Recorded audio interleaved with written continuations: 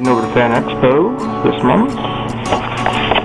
Uh, obviously going over there to see several of the guests of honor, including the great and famous uh, Stan Lee.